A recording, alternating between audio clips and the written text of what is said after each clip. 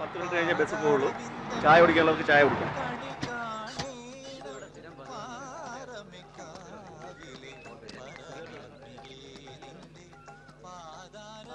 Hello? Hello? ഉണർത്തിയതിന് ക്ഷമിക്കണം. ചായ കുടിക്കാൻ ബസ് നിർത്തിയിരിക്കുക. ഇതേതാ സ്ഥലം? മൂന്ന് പോലെ എത്തിയോ? മൂന്ന് മലയ്ക്ക് ഇനിയും കുറെ ദൂരമുണ്ട്. രാത്രിയിൽ നമ്മൾ പരിചയപ്പെടുകയും സംസാരിക്കുകയൊക്കെ ചെയ്തിരുന്നു. ഓർമ്മയുണ്ടോന്ന് അറിയില്ല എന്റെ പേര് നന്ദകുമാർ. അപ്പോ ഇറങ്ങിയല്ലേ എന്തേലും കഴിക്കാം? എനിക്കൊന്നും വേണ്ട. വേണമെന്നാണ് എനിക്ക് തോന്നുന്നത്. രാത്രിയിൽ കഴിച്ച ഭക്ഷണമൊക്കെ ഛർദിയിലൂടെ പുറത്തു പോയല്ലോ. ഒരു ചായെങ്കിലും കുടിക്കാം.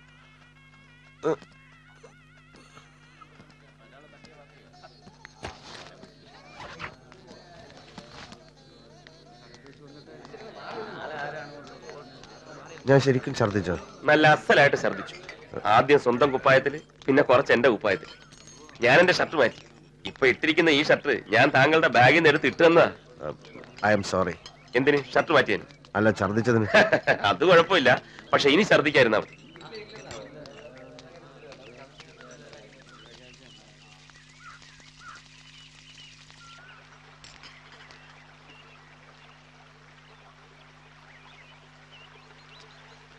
മൂന്നുമലയാണോ നാട്?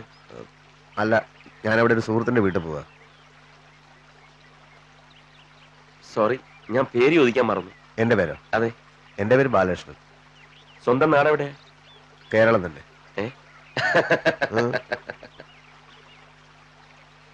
എന്റെ ചോദ്യങ്ങൾ ബാലകൃഷ്ണൻ ശല്യമാവുന്നുണ്ടെന്ന് തോന്നുന്നു. ഏ അങ്ങനെയൊന്നുമില്ല. സ്വന്തക്കാരും ബന്ധുക്കളും ഒക്കെ ഉള്ളവർക്കാണല്ലോ നാട്. എന്ന് വെച്ചാൽ? എല്ലാരും ഓരോ വഴിക്ക് പോയി. അപ്പൊ പിന്നെ ഇപ്പൊ എവിടുന്ന് വരുന്നു? നേരിട്ട് എവിടെ നിന്നും വരികയല്ല. രണ്ടു മൂന്ന് ദിവസമായിട്ട് നല്ലൊരു കറക്കത്തിലായിരുന്നു. സ്വാതന്ത്ര്യം കിട്ടിയതിന്റെ ആഘോഷം. രണ്ടു വർഷമായിട്ട് സെൻട്രൽ ജയിലായിരുന്നേ ഹ, പേടിക്കണ്ട. കൊലപാതകയൊന്നുമല്ല. ജയിലിൽ നിന്ന് ഇറങ്ങിയിട്ട് പഴയ പ്രതിയോഗികളോട് പകരം വീട്ടാൻ ഇറങ്ങി തിരിച്ച സിനിമയിലെ നായകനുമല്ല. ജയിലിൽ വെച്ച് പരിചയപ്പെട്ട ഒരു സുഹൃത്തിന്റെ വീട്ടിലേക്കുള്ള യാത്രയാ. അയാൾ തന്നയച്ചൊരു കത്തവിടെ കൊടുക്കണം. വിവരങ്ങൾ പറയണം. ചായ കുടിക്കൂ?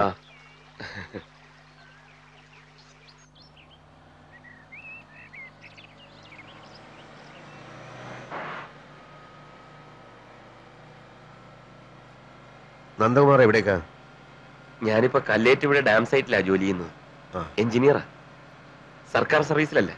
ഒരു കോൺട്രാക്ടർക്ക് വേണ്ടി. ഓഹോ ഇപ്പൊ വീട്ടിൽ നിന്ന് വരികയായിരിക്കും. അതെ.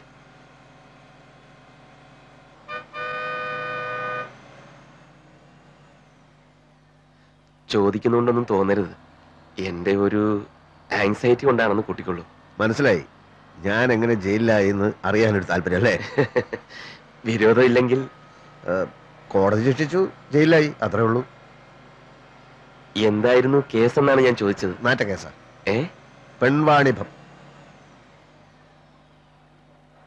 ശരിക്കും ഞാനൊരു സ്കൂൾ മാഷായിരുന്നു.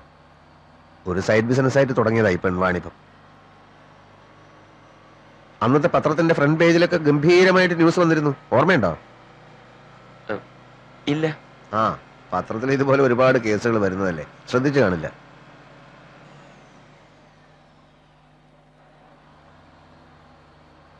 നേര് പറഞ്ഞ എനിക്കൊന്നും മനസ്സിലായില്ല. സ്കൂൾ മാഷായിരുന്നു എന്ന് പറഞ്ഞു. പക്ഷേ അതെ സ്കൂൾ മാഷായിരുന്നു.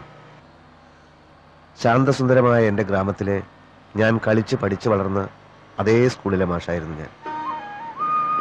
ഇത്തിരി നാട്ടുകാര്യങ്ങളും വായനശാലയും വായനാശീലവും ഒക്കെ ഉള്ളതുകൊണ്ട് വീടിനടുത്താണെങ്കിലും പതിവായ സ്കൂളിൽ താമസിച്ചെത്തുന്ന മാഷായിരുന്നു ഞാൻ.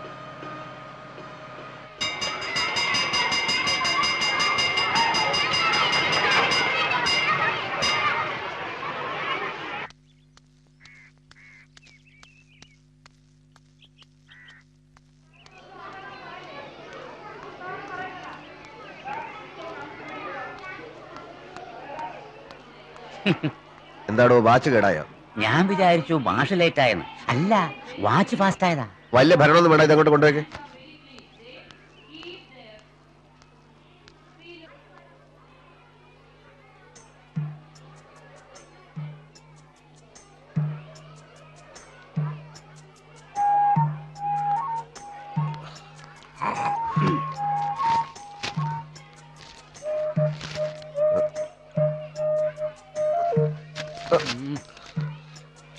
ഇന്നലെ ഉറങ്ങാൻ കുറച്ചു വൈകി.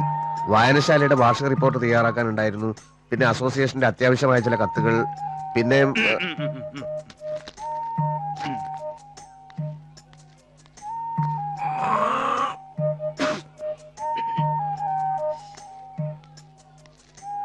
വായനശാലയ്ക്ക് വളരാൻ പോയോ? അസോസിയേഷന് വെള്ളമൊഴിക്കാൻ പോയോ? ഇതൊന്നും എനിക്ക് അറിയേണ്ട കാര്യമില്ല. ഇവിടെ ജോലിക്ക് വരുമ്പോ കൃത്യസമയത്ത് വരണം. അതിന് പറ്റാത്തവര് ലീവ് എടുത്ത് വീട്ടിൽ പോയിരിക്കുക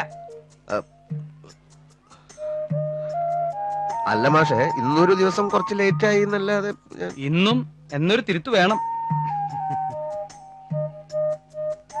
മേലിൽ ആവർത്തിക്കില്ല എന്ന് ഉറപ്പ് തന്നാൽ ഒപ്പിടാം. ഉറപ്പ് വാഗൊണ്ട് വെറുതെ തന്നാ മതിയോ? അല്ല പേപ്പറിൽ എഴുതി തരണോ? ഇത് ബാലകൃഷ്ണൻ. ഇവിടത്തെ ഒരു മാഷ. കൃത്യനിഷ്ഠ കണ്ടപ്പോ തന്നെ മനസ്സിലായി കാണുമല്ലോ. ആ പാനീട് തന്നെ. ആ, മ്യൂസിക് ടീച്ചറുടെ പോസ്റ്റിലേക്ക് വന്നിട്ടുള്ളതാ. നിർമ്മല. ഇത് കുട്ടിയുടെ അമ്മാവനാ. വാര്യ മാഷ്. പരമേശ്വര വാര്യര്. ഇതിപ്പോ ഇങ്ങനെ ഓടിപ്പിടിച്ച് വരേണ്ട കാര്യമൊന്നും ഉണ്ടായിരുന്നില്ലല്ലോ. പതിനഞ്ചാം തീയതിക്ക് മുമ്പ് മതിയെന്നല്ലേ? മതി. പക്ഷേ ഇനി അവസാന നിമിഷത്തിൽ വല്ല തിരുമറിയും നടന്നാലോ എന്ന് ഭയന്നിട്ടാ. അതല്ലേ കാലം. അഞ്ചു കൊല്ലായി അക്കാഡമിയിൽ നിന്ന് പാസ്സായിട്ട്. പ്രൈവറ്റ് സ്കൂളുകാരിൽ ലക്ഷങ്ങളാ ചോദിക്കണത്. അത് കൊടുക്കാനുള്ള മനസ്സുമില്ല.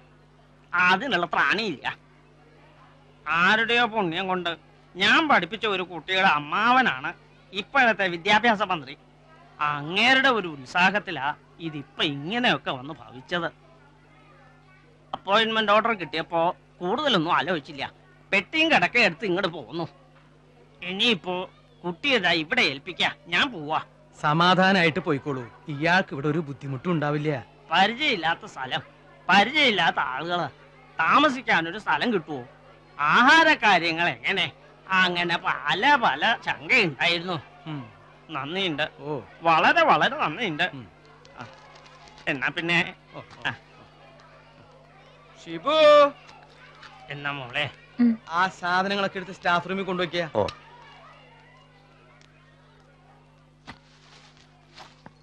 ആ കൂടെ പൊക്കോളൂ.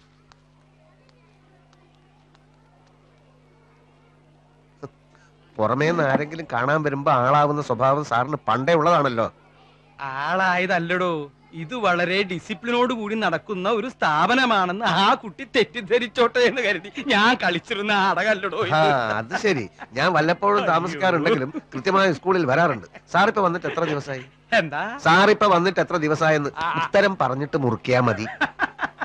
എടോ വീട്ടിലെ കാരണവർക്ക് അടുപ്പിലും ആവാം ഹെഡ് മാഷ് എന്ന് പേരേ ഉള്ളൂ. ഇവിടുത്തെ കാര്യങ്ങൾ നടക്കണമെങ്കിൽ എല്ലാത്തിനും ഞാൻ തന്നെ പോകണം എനിക്കാണെങ്കിൽ ഇങ്ങനത്തെ ഒരു ജോലി കൊണ്ട് കുടുംബം പോറ്റേണ്ട കാര്യമൊന്നുമില്ല. വിദ്യാഭ്യാസം ഉണ്ട് പിന്നെ വീട്ടിൽ വെറുതെ ഇരിക്കണ്ടല്ലോ. മാത്രമല്ല ഒരു കലാലയല്ലേ. കുറച്ചു കുട്ടികളുടെ കണ്ണ് തെളിയിച്ചാൽ തെളിയട്ടെ. നമ്മളെ കൊണ്ട് പറ്റത് നമ്മൾ ചെയ്യാം. അതാ എന്റെ പോളിസി ടീച്ചർ ഇരുന്നോളൂ. എനിക്ക് അങ്ങനെയൊന്നുമില്ല ഉം. കുട്ടികൾക്ക് മാഷന്മാരെ വലിയ പേടിയൊന്നുമില്ല. പക്ഷേ എന്റെ തലവട്ടം കണ്ടാൽ ആ അപ്പാപ്പെടുക്കും എന്തുകൊണ്ടാ? ജോലിയോടുള്ള ആത്മാർത്ഥത. അല്ല ഞാൻ ഇവിടുത്തെ ചുറ്റുപാടുകളൊക്കെ ഒന്ന് പറഞ്ഞു കൊടുക്കുകയായിരുന്നു.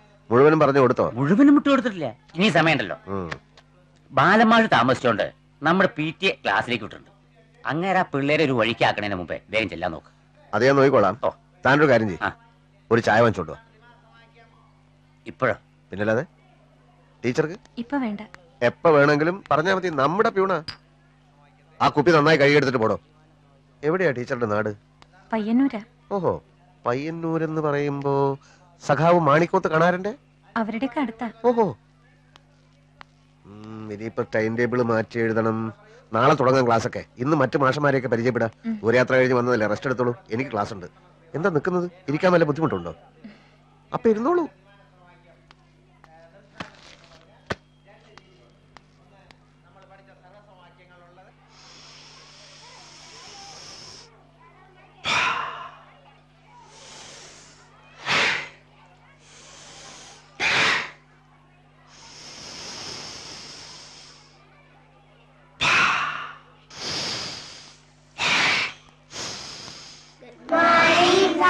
Good morning good morning. ബാലമാഷി ഇനിയും താമസിച്ചു വരുമല്ലോ. അന്ന് ബാക്കി അഭ്യാസം.